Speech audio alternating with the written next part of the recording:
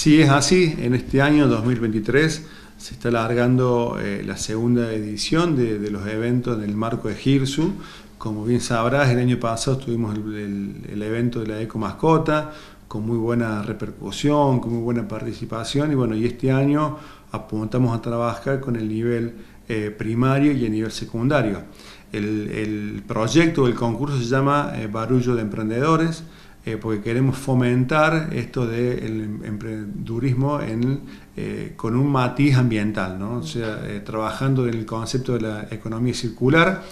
queremos fomentar esto, que, que los jóvenes, que los infantes puedan recepcionar problemáticas ambientales y que a través de los instrumentos de las instituciones educativas puedan promover soluciones, puedan promover ideas eh, que eh, esperemos que, como creemos que va a ser así, va a haber muy buena participación y muy buena colaboración.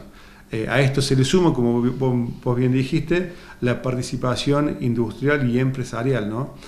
contamos con un gran grupo de, empresarios y de, empresas de industria que van a estar participando y colaborando. ¿no? Bueno, es parte de, financiar estos proyectos, de poder llevarlos a cabo, está pensado que pueda ser de manera integral, es decir, la parte pensante, donde intervienen los estudiantes detectando el problema y, ofreciendo soluciones, y después llevarlo a cabo, quizás ellos mismos.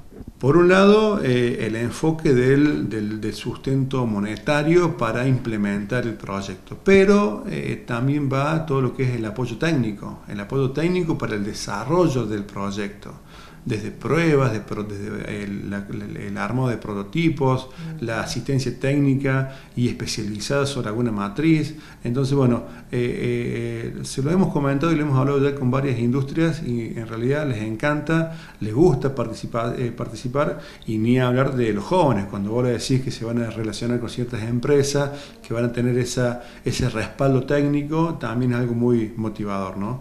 Eh, estos, estos ámbitos o este concurso eh, intenta eh, emplazar tres ámbitos de trabajo. Por un lado el empresarial, por otro lado el social y, y por otro lado el cultural. Entonces va a haber como tres clasificaciones de, de, proyectos, ¿no? cada uno con sus respectivos premios. ¿no? Bien, ¿esto se pone en marcha en breve o ya fue comunicado, anunciado o se está trabajando fuertemente en el proyecto? Se está trabajando, hasta el día viernes pasado estaban abiertas las inscripciones.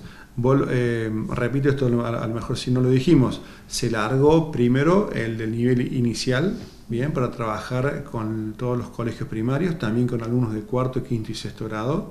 Y eh, la semana pasada eh, estuvieron abiertas las inscripciones para trabajar con nivel secundario, alumnos de cuarto, quinto y sexto y séptimo en los colegios técnicos. ¿no? Interesante. Bueno, la recepción seguramente será óptima y la posibilidad de contar en Río Tercero con un avance en materia de eh, reciclaje, pero por otro lado que tiene que ver también con una conciencia ambiental en reutilizar elementos. Esto es, claro, apuntamos a, trabajar en la concientización, ¿no? O sea, trabajamos en, fomentar y que el tema del ambiente sea algo del día a día, ¿no? Porque como ya y siempre lo mencionamos, esto de eh, eh, cambiar hábitos eh, es, algo que no es de un día para otro, ni se hace con un clic, sino se hace con justamente tomar conciencia.